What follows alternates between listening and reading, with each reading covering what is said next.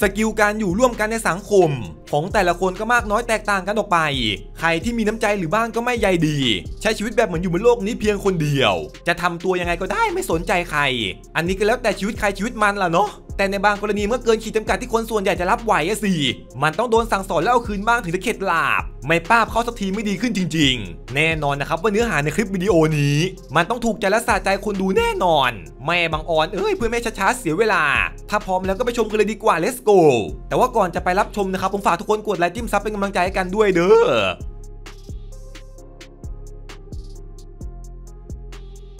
เมื่อเก่งรุ่นเก่าสีขาวจอดไร้สมอง หรือว่ามองไม่เห็นเส้นผมก็ไม่แน่ใจ แต่พี่คนนี้จะเข้าไปใส่จอดในล็อกนั้น ขับหันไปหลายรอบก็ยังเข้าไม่ได้ สุดท้ายเนี่ยเอาเครื่องเจียร์ไฟฟ้า หันมันออกมาไอ้ส่วนที่เกินไป ถึงแม้จะใช้เวลาหลายหลายๆก็ตามทีเถอะ แต่ว่าได้ความสะใจชายคนนี้ก็ยอม พอตัดออกมาเสร็จลองมาเช็คความกว้างดูอู้หูถอยหลังจอดได้อย่างสบายๆเลยทีนี้ ความคิดไอเดียพี่แกโคตรจะดีผมถูกใจ ใครที่ดูอยู่นะครับอย่าไปทำตามเด็ดขาดเด้อขับไปหาที่จอดใหม่น่าจะง่ายกว่า สังเกตเก่งดำด้านขวาจอล่างดู ก็จอดต่อแถวรอคันขาวออกนั่นแหละ จู่ๆก็มีเก๋งขาวคันเสียบมาแทรก เก่งดำก็ไม่รอช้าสิลงมาต่อว่าเจรจา ไอ้ยาแต่ฝ่ายนั้นก็ดูไม่ยอมเหมือนกันทำท่าเดินออกไปแบบไม่สนใจอะ ก็ฉันซิ่งกว่านี่ว่าเสียบก่อนทำไมอะ ในจังหวะต่อมานะครับทุกคนลองสังเกตดู ไม่รู้ชนเผ่าที่ไหนโผล่มาประมาณ 10 คนระดมแรงยกรถออกไป น่าจะเป็นคนของเจ้าของอาคารนี่แหละจ้างมา อยากซ่าดีนะไปหาที่จอดเอาใหม่ เจ้าของรถคันนี้ไม่มีระเบียบวินัย จอดรถตามใจเป็นไงล่ะเจอของจริง เจ้าของพื้นที่นะครับไม่รอช้าสิจัดการเอารถเข็นยกรถทั้งคันขึ้นฟ้า ควงไปควงมาหาที่เหมาะเจาะไอ้ยาปลายทางก็คือดาดฟ้าตีจัดการเอาเคนยกขึ้นไปวางด้านบน ผู้คนก็ต่างพากันยืนมุงดูโอ้โหก็เกิดมาไม่เคยเจอแบบนี้เนาะเรียกได้ว่าเจ้าของนะครับลงทุนสุดๆ เพื่อฉุดให้เจ้าของรถเนี่ยเข็ดสักที แต่ทีนี้ถ้าจะเอาลงเจ้าของทำไงล่ะ ก็คงเสียเงินไปจ้างเคนยกลงมามั้งเรียกได้ว่าแบบนี้นะครับเข็ดไปชั่วชีวิต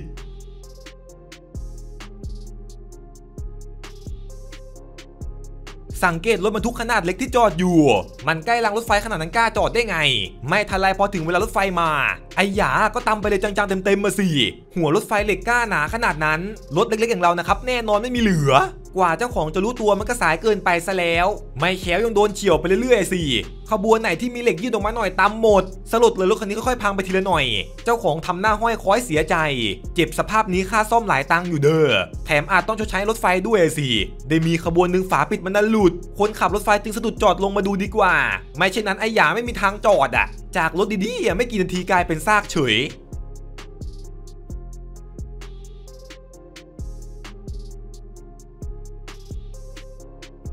เวลาที่มีตลาดนัดหรือว่าเทศกาลอะไรเราคงเจอบ่อย กับรถที่จอดห้อยตูดต่อท้ายอีกรอบหนึ่งตะลึงอะตีเจ้าของรถไม่อยู่ดึงเบรกมือเอาไว้ด้วย สังเกตกระบะนะครับมาช่วยดันถอยหลังไปเลย อยากมาขวางทางดีนักใช่ไหมแกถอยชนแบบไม่สนใจอะไรเลย เสียงเครื่องนี่ฮืนดังสนั่นลั่นถนนน่ะ คนก็ต่างพากันยืนออกมาดู อู้หูกระบะคันนี้ถือว่าใจเด็ดชัยย่อย พอพี่แกสามารถขับออกไปได้ ก็ไม่สนใจเก่งคันนั้นไม่แต่หน่อยเดียว ทิ้งให้เวิ้งว้างอยู่กลางถนนแบบนั้นไปเลย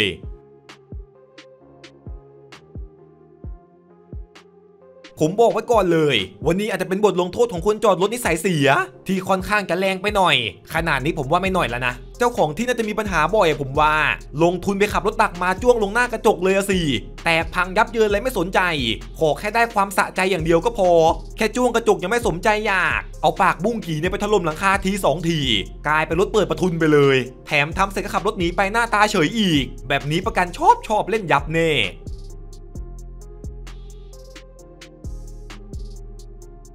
เมื่อชายเจ้าของไร่เกิดอาการสติแตก แหกขับรถมาจกเก่งกระเจิงเลยสิ น่าจะมาจอดปิดทางเข้าออกไล่แกละมั้ง เจ้าของรถพยายามคุ้มเหตุการณ์ แต่ว่าสุดท้ายก็ทำอะไรไม่ได้ มากสุดก็เพียงทีบๆเตะๆแล้วก็ควักมือถือมาถ่ายเอาไว้เท่านั้นเอง ส่วนชายขับรถตักก็เลงลากอย่างเมามัน สี่ข้างรถที่ถลอกปอกเปิกไปหมดแล้ว เหมือนกับว่าเขาโกรธแค้นฝังใจ ลากถลายไปอย่างยาวไม่ยอมจอดซากกะที คนทางนี้เจ้าของก็น่าเจือนไปเลยติ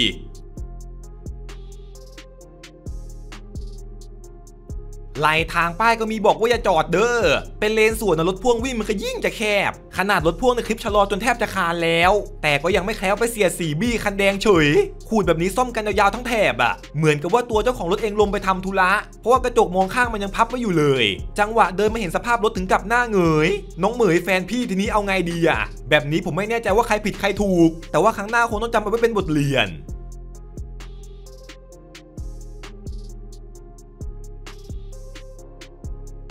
รถเก๋งสีขาวที่จอดอยู่ตามที่จอดปกติ พอจะออกไอ้ยาคันดำมาขวางเฉย ถ้าสังเกตดูตัวเจ้าของรถสีขาวเอง ก็เดินละเลงลงมาเจรจาแล้วแหละ แต่เหมือนกับว่าคนขับไม่อยู่หรือว่ายังไง สุดท้ายใจร้อนไม่ทันใจชนแม่งเลย ก็เสยตูดไปตีทีสองทีแค่เนี้ยก็ขับออกมาได้อย่างสบายๆทำไมมันดูง่ายจังวะเนี่ยทำยังกับเป็นรถบังคับ เอาความจริงคนส่วนใหญ่ไม่เกรงใจคนพิการเลยหรือไง ผมนี่เห็นบ่อยเหลือเกิน ที่จอดรถคนพิการแต่คนปกติชอบขับไปจอด เวลาคนพิการเขาจะมาใช้บริการจริงเนี่ยโหยลำบากแต่กฎบ้านเมืองเราไม่ค่อยเข้มข้นน่ะ เมืองนอกนี่จับล็อกล้อเลยเด้อ แต่ว่าชายคนนี้ไม่สนใจ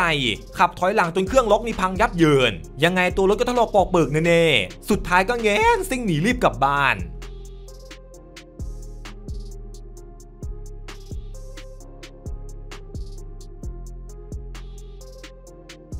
น่าจะเป็นที่จอดอะไร VIP ละมั้ง ถึงได้มีกลวยกั้นขวางทางไม่ให้ไปจอด แต่สาวคนนี้ต้องไม่สนใจและหยิบกลวยออกมา เชิญได้เลยค่ะสามีขาจอดได้ตามสบาย แถมยังปิดท้ายเอากลวยใส่กระโปรงหลังด้วยเวยเฮ้ย ขโมยกลับบ้านไปแบบดื้อ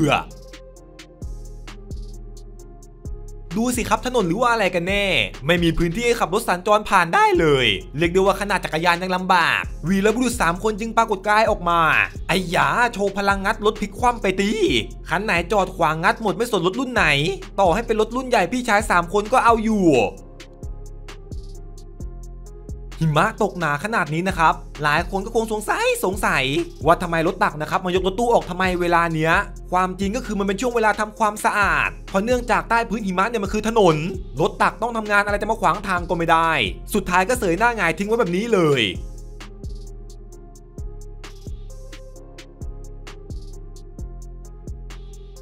ซ้ายก็จอดขวาก็จอดโอ้ไม่ก็ทางจะขี่ก็ไม่มี รถสวนกันทีนี่ต้องขยี้ตัวให้แคบลง แต่ว่าชาย3ล้อคนนี้ขับตรงในความมุ่งมั่น ไม้ที่โผล่มาก็ตะบันขูดรถทุกคันที่จอดอยู่อู้หูดูท่ารถแต่ละคันหรูๆทั้งนั้นน่ะ ถ้าถามว่าแกรู้ไหมผมว่าแกตั้งใจเลยแหละกระแทกแรงปั๊บๆสักขนาดนั้น แกจะไม่รู้สึกตัวได้ยังไง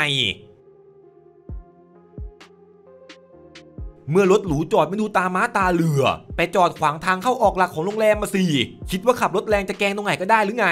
สุดท้ายเป็นยังไงตำรวจให้มืองัดมาจัดการที แงะซ้ายทีขวาทีใช้เวลาตั้งนาน กว่าจะทะยานเปิดประตูได้นี่ยากเอาเรื่อง พอเปิดได้ก็ไม่รอช้าไปคว้าเชือกมา ไปมัดอะไรไว้ก็ไม่รู้ มันน่าจะเป็นระบบของรถนี่แหละ ถ้าหากไม่มัดเราก็ไม่สามารถยกมันออกไปได้ คนที่มาช่วยตำรวจนี่ฝีมือร้ายกาจนะเนี่ย น่าจะมีประวัติมาอย่างโชกโชนแน่นอน แม่บางออนพลิกตัวมาเป็นฝ่ายดีดีกว่า สุดท้ายก็สามารถเคลื่อนย้ายสปอร์ตหรูคันนี้ออกไปได้สำเร็จ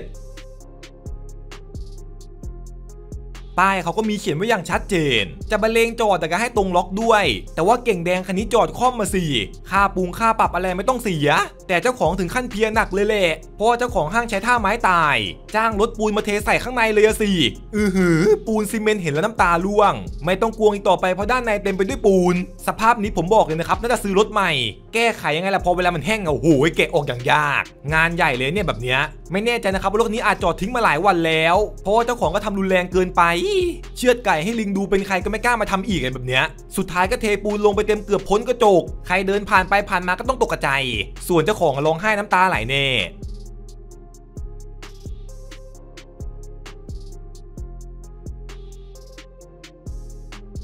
เป็นกล้องวงจรปิดถ่ายติดย่ามดึกๆ สังเกตมอเตอร์ไซค์ที่จอดอยู่บนถนนดู หลังเส้นทึบสีขาวน่ะ ไปจอดขวางทางการจราจร แม่บางอ่อนเอ้ยพอช้างมาเห็นมันก็ทนไม่ไหวสิมันวิ่งเขาใส่มาอย่างไวเลยครับท่านผู้ชม คนที่เห็นก็พากันแตกตื่น พอมาถึงวิ่งใส่ชนมอเตอร์ไซค์กระจุยกระจาย ดียังไม่ชนเจ้าของหน้าหงายไปด้วย ขนาดช้างป่ายังมีระเบียบ รู้จักกฎหมายบ้านเมือง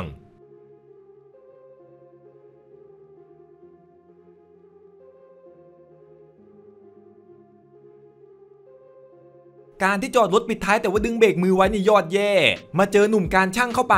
รถที่มีเรื่องด้วยงามไส้เลยไม่ละทีนี้อะเขาไปคว้าเลื่อยตัดเหล็กไฟฟ้าออกมาผ่ามันกลางลำเหมือนจะขย่ำทิ้งพอถอยรถออกไปเสร็จก็ไปพิงกลับไว้ที่เดิม เหมือนกับว่าไม่มีอะไรเกิดขึ้นเลยครับ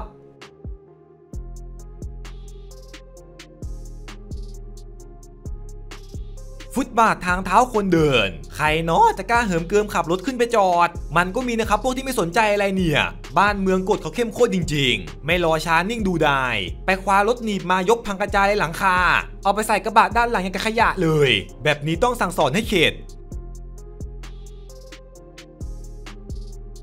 หัวประปาดับเพลิง ที่เราเห็นได้บ่อยตามขอบถนนบนฟุตบาท เอาความเป็นจริงอย่าซึ่งไปจอดขวางทางน้องเด้อเพราะถ้าเกิดว่ามีเหตุฉุกเฉินเกิดขึ้นมา จะกลายเป็นว่าคนดับเพลิงทำงานลำบาก แต่ว่าเหตุการณ์นี้ไม่ใช่อย่างนั้นนะตีเขาใช้วิธีทุบกระจกเลยเว้ยเฮ้ยมันจำเป็นต้องใช้น้ำอะเนาะแล้วคุณดันมาจอดไม่ดูสี่ดูห้ากลายเป็นว่าเสียค่ากระจกใหม่แถมด้านในรถเปียก ที่จอดจักรยานตารางเขาก็ตีไว้ให้ดูอยู่ โดยเก๋งขาวคนนี้นะครับ โดนจักรยานนับร้อยคัน ตะบันจอดอ้อมไว้โอ้โหยังโหดอะ นี่มันที่จอดชั้นเธอไม่หันมาดูเอง คราวนี้แหละบะเลงตอนออกอะยากยาก รถเก็บขยะจะมาโกยขยะออกจากถัง แต่ว่าถูกบดบังด้วยเก๋งหลายคันนะตี เวลาจะเข้าไปเก็บมันก็ไม่สะดวกอะเนาะพื้นก็เขียนชัดเจนว่าห้ามจอด โอ้แม่ก็สุดท้ายนะครับ สภาพนี้เลย อยากจอดไม่ดูตาม้าตาเรือ ได้กินขยะสมใจอยากทั้งคันเลยไหมล่ะทีนี้หยีเหม็นอะ รถรางที่ต่างประเทศ เบียดรถเก่งนอนเอดเปไปไหนต่อไม่ได้ สุดท้ายเป็นยังไงล่ะครับ ไม่เคารพกฎจราจร ต่อให้เป็นรถหรูแพงก็ตามทีเถอะรถรางเขาก็ชนไม่เลือกหน้า เพราะว่าเขาเลี้ยวไม่ได้อะเนาะยิ่งขับถอยสภาพเบนซ์ก็ห้อยลงเรื่อยๆ หัวปลาปลาดับเพลิงอย่าตะเลิดเปิดเปิงเอารถไปจอดขวาง ไม่แน่ใจนะครับเป็นเจ้าหน้าที่หรือเปล่า ที่เอาโซ่เส้นยาวมาล็อกไว้แบบนั้นน่ะ หรืออาจจะเป็นคนแถวนั้นที่มาแกล้งเอง เจ้าของรถก็ละเลงหาวิธีออกอะสิโอ้แต่โซ่เส้นใหญ่จริงครับท่านผู้ชม น่าจะมีคนนำมาแกล้งไว้นั่นแหละ สภาพนี้คงเข็ดไปอีกยาว นี่มันรถระดับ hypercar เลยมั้งนั่นน่ะ ถึงจะรวยแค่ไหนแต่ทำผิดก็ต้องคิดใหม่ รวมไปถึงสีรถโดนใจแค่ไหนก็ต้องโดนลงโทษอยู่ดี จอดแบบนี้นะครับเจ้าหน้าที่ก็ล็อกล้อไปตี สุดจริงอะเมืองนอกไม่แคร์ด้วยอะคุณจอดผิดที่ก็ต้องโดนลงโทษไป ถึงแม้ว่ารถจะสวยขนาดไหนก็ตามทีเถอะ เมื่อเก๋งสีขาวถอยหลังจะกลับบ้าน ไม่นานคลาสสิกยุค 90 ก็โผล่มาเสียบเรียบร้อยคันเหลืองช้าก็อดจอดไป แต่ไม่เป็นไรคนขับหัวสายเกาะลากออกมาคราวหน้าดูด้วยใครต่อแถวอยู่ พอลากออกมาได้นะครับ พี่แกก็ไปเสียบแทนที่ทีนี้แหละเก่งแดงมาเจอจะหัวร้อนหรือเปล่าวะเนี่ยจิตใจคันเหลืองนี่แบบไม่ยอมใครจริง ๆ แก้เข็ดคนที่ไร้มารยาทพงาดจอดรถตามอำเภอใจใครจะไปยอม ป้าคนนี้ครับลากถังขยะหลายสิบถัง มากองรวมกันล้อมรอบรถหรูคันนี้ นี่แหละพอเจ้าของมาเจอเออเหอชัว จอดคอมเส้นใช่ไหม เห็นแล้วมันขัดตา จึงเดินมาหยิบรถเข็นตะกร้ามาแก้เพจด้วยการใช้กุญแจมือนะครับ ล็อกติดกับที่เปิดประตูอู้หูลงทุนหน้าดูเนี่ยหลายบาทอยู่ พอล็อกเสร็จชายคนนี้ก็เดินมาตามปกติ แล้วก็แอบถ่ายชายเจ้าของรถเอาไว้ สุดยอดไปเลยไม่มีใครกล้าทำแบบพี่แกชัวร์ๆลงทุนลงแรงแก้แค้นคนที่ใส่ไม่ดี พอพี่ชายเจ้าของรถมาเจอทีโอ้ยหัวร้อน แม่บางออนเอ้ยดูเหมือนนักกล้ามซะด้วยสิถ้าเกิดโดนจับได้ผมนึกภาพไม่ออก ไม่แน่ใจว่าใครผิดใครถูก ต่างคนก็ต่างไม่ยอมหลีกให้กันนะเนาะแต่ว่าเก๋งเขียวมาสองคนนะตีก็พากันลงจากรถมาเจรจา ไอ้หยาดูเหมือนว่าเหตุการณ์จะไม่ค่อยดี คนขับแบ็คโฮโดนหัวทีซ้ายทีขวาที ทีนี้อารมณ์มันก็เลยมา เลยคว้าบุ้งกี่ไปจกรถพังยับ เก๋งเขียวไปทำเขาก่อนนะสมหน้าแต่ว่าหลังจากนี้น่าชดใช้กันยาวๆ ไม่น่าห้าวหาเรื่องทำเกินไปเลยแบ็คโฮ รถตู้ขาวไปจอดขวางทางเข้าออกบ้านแห่งหนึ่ง เจ้าของขับออกมาก็ตะลึงกับสิ่งนี้มันรถใคร สุดท้ายนะครับด้วยความใจร้อน บวกกับรถตัวเองเนี่ยโหอย่างเจ๋งอะ จึงโชว์พลังดันรถตู้กระจุย หุยใครทราบบ้างนี่มันรถอะไร กระบะก็น่าจะใช่แต่ทำไมถึงมี 6 ล้อ น่าจะเสริมเติมแต่งมาแหละผมว่ารถคันนี้กดคันเร่งเหยียบไปทีรถตู้นี่หนีไปนู่นน่ะ